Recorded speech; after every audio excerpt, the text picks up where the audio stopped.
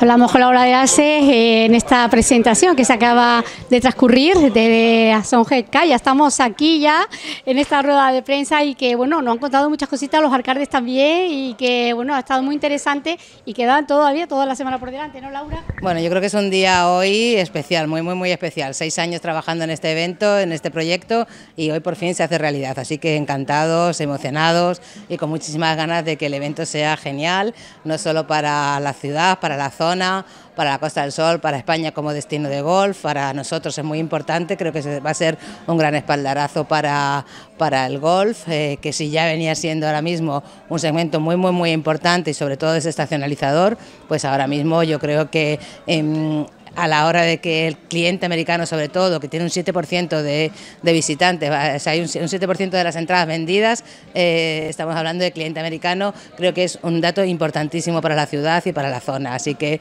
emocionados de verdad, encantados y bueno, un sueño hecho realidad que, ya por fin se materializa hoy. Así que esperando que sean todos éxitos. Pues muchas gracias y también por mandarnos siempre las notas de los eventos de Marbella, porque eso está incluido en todos los actos de Marbella, para el que quiere participar, que pueda venir, que pueda hacerlo. Claro que sí, la agenda, bueno, cada día crece más, como habéis visto, eso para nosotros es importante que, todo el mundo esté, siempre, siempre se oye la típica frase en Marbella, eh, nos enteramos que cuando pasa no sabemos lo que, lo que pasa, pues ya a través de turismo tenéis la agenda eh, mensual y ahí vienen cargadita de eventos. Y sobre todo este mes de septiembre, que es verdad que con 85 páginas ya no era ni una agenda al uso, menos mal que, no es una agenda que se pueda imprimir, es para tenerla siempre en el móvil y para poder eh, saber en cada momento lo que está pasando, así que seguiremos trabajando en ella. Muchas gracias y enhorabuena por tu gran trabajo. Muchísimas gracias, gracias.